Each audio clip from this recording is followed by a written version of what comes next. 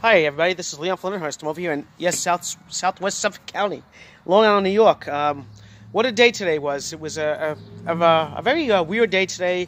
We had a marine uh, air layer in today. It was cloudy and it was in the 50s, and then it uh, the clouds broke apart.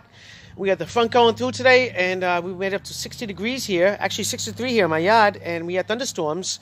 We had some nice big uh, billowing cumulus clouds here, and actually had some uh, some uh, nice thunderstorms over in uh, County, uh, Toms River, and um, they had some uh, quarter quarter size hail. I think it was 0.50, maybe half inch hail, and uh, even parts of southern Connecticut had some thunderstorms. But over here, we were just like in between everything. And yes, I am drinking my Guinness beer here. What the heck? Why not? I'm trying to uh, isolate everybody, isolate myself.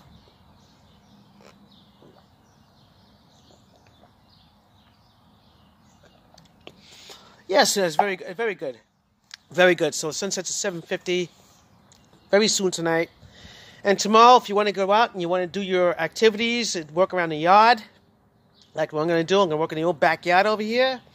Be a great day to do it tomorrow because tomorrow we may see 70 degrees here, even in Lindenhurst on the South Shore. Uh, we're going to have northwest wind developing um, later on, and uh, it's going to be like a really nice day tomorrow. It's going to be sunny out. Uh, people are going to have spring fever, so you have to watch out with the social distancing because I know a lot of people are going to be running around. They want to get out and they want to do stuff, so it's not a really good idea to do. Um, right now, we're doing pretty good right now. We're starting to drop the numbers, even though we still have like 70,000 people that are infected on Long Island that we know of.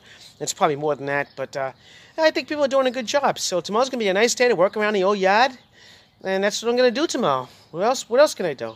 And then um, maybe I'll cook myself a nice steak on the old barbecue, and um, that's about it.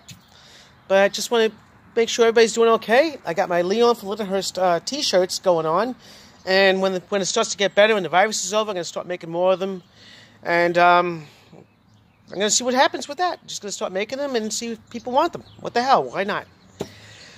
So tomorrow's, like I said, it's going to be a nice day. And then tomorrow night, we're going to have a chance of showers uh, later on uh, in the evening into uh, Sunday morning. And then tomorrow, uh, Sunday is actually going to be a, a probably a more humid day. Uh, winds are going to be from the southwest. Uh, we can see temperatures uh, close to 70, but if we have a, a southwest wind and the uh, sea breeze picks up earlier on a Sunday, um, I don't know if it's going to make it to 70, but actually uh, tomorrow's going to be 70 degrees here, plus, I think, in Lindenhurst, which uh, we haven't seen, I don't think, all year here.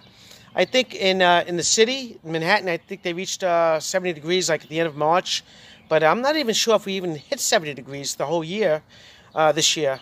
I think to the record, the record high today was 2001. It was 84 degrees, and in 2008, I believe the record low was 32 degrees in Islip MacArthur Airport.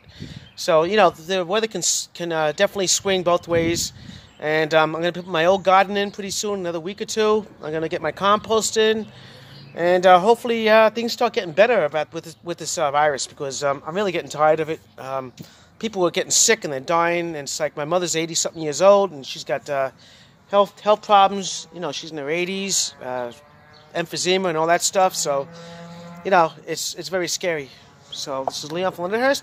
Be safe tomorrow. Enjoy the day because you're gonna have a nice day tomorrow. Have a great night, everybody. Be good.